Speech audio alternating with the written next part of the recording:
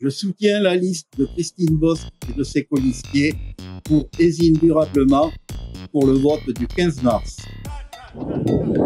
Je suis Alain Minon, représentant le monde associatif sur Hésine depuis plus de 30 ans et également au service de la collectivité, principalement sur le vélo et le cyclotourisme.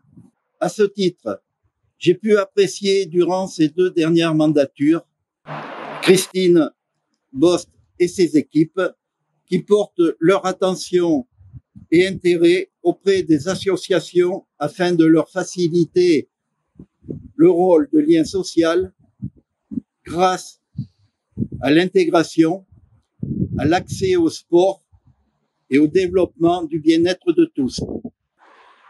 C'est pour tout cela que je soutiens la liste Hésine durablement.